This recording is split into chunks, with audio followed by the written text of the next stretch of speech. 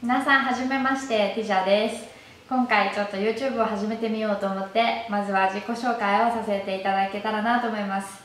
えっと私はティジャと言います。カナダで鍼灸師をしていてもともとすごく東洋医学が大好きで健康情報とか美容のこととかマッサージ法とかそういうのを発信していけたらいいなと思って YouTube を始めてみようと思いました。昔から東洋医学が大好きで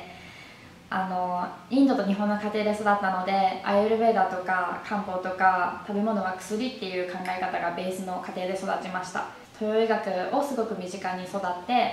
そこからマッサージセラピストとして日本で働いたりとか太鼓式マッサージを勉強しにタイに行ったりとかアイルベーダを勉強しにインドに行ったりとかいろいろとしてきました。で今はカナダで鍼灸師の学校に行って鍼灸師として働いています。その中でもっといろんなこのすごいいろんな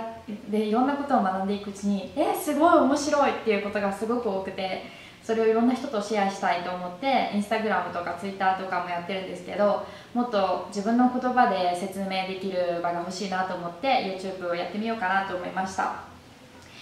なんか健康のこととか美容のこととかマッサージ方法とか普段から取り入れられる健康法。東洋医学は病気の人のためのものだけではなくて健康な人がずっと健康でいるためにとか健康な人が病気にならないようにするために病気の人がより良くなるようにっていう本当に誰にでも使える医学です。なので日常的に取り入れられることがたくさんあって東洋医学ってもう5000年以上前からあるものですごく歴史が長くて私もまだまだ